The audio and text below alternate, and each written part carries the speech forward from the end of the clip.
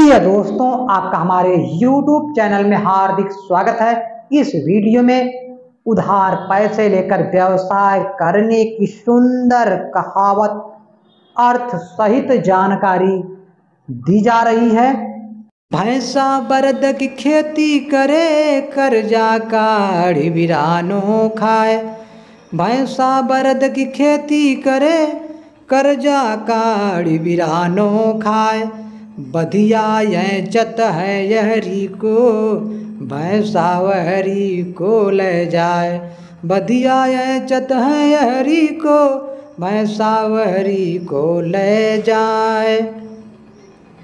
महाकवि खाग जी कहते हैं, भैंसा और बैल, भैंसा और बैल एक साथ जोत कर खेती करना और दूसरे से कर्जा लेकर खाना एक ही समान है।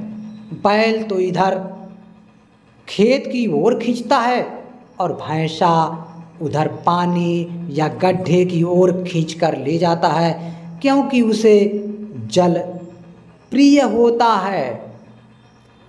उधार गाड़ी व्यापार चलावे, छप्पर डारे तारो।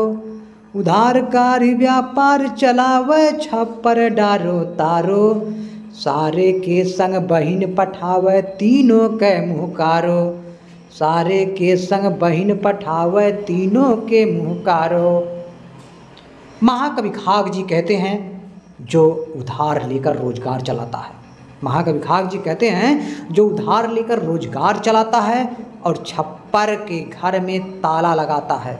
छप्पर के घर में ताला लगाता है तथा जो साले के साथ अपनी बहन को कहीं भेजता है। साले के साथ अपनी बहन को कहीं भेजता है तो इन तीनों के मुख में कालिक पुत जाती है। इन तीनों को मुख में कालिक लग ही जाती है। इस वीडियो में इतना ही। इसी के साथ हमारी यह वीडियो समाप्त होती है। अगर हमारी यह वीडियो आपको अच्छी लगी हो, लाइक, शेयर, सब्सक्राइब ज़रूर करें।